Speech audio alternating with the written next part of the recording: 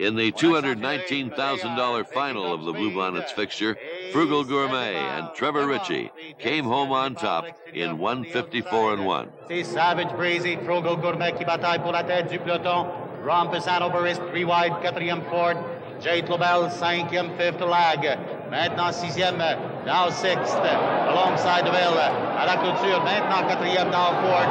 That is Rare Review. On franchit le poteau du quart de mille, completing the first quarter mile. Avec en tête on top Frugal Gourmet, 28 secondes, 28 seconds flat.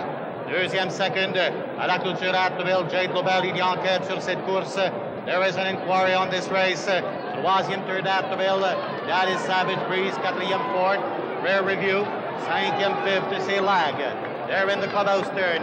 Dans le tournant du clubhouse avec en tête on top Frugal Gourmet. Deuxième second the Jade Lobel. Troisième third Savage Breeze, quatrième Ford. À la clôture at the Ville, that is Rare Review, 57 et 4, 57 and 4, cinquième fifth, c'est Lag, the others are out of the race. Dans l'autre droit, into the backstretch avec en tête on top Frugal Gourmet, followed by Jade Lobel. Troisième third Rare Review à l'extérieur outside, gaining ground. Uh, and now third, uh, quatrième Ford, c'est Savage Breeze. À nouveau dans le re-entering the far turn.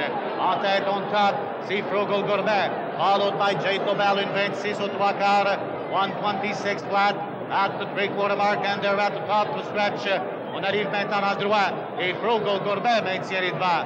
Deuxième second, that is Jake Lobel now challenging outside. Troisième third, that is at the Bill Savage Breeze. Frugal Gourmet, Jake Lobel is gaining ground and challenging outside. It's Frugal Gourmet with Jake Lobel. Frugal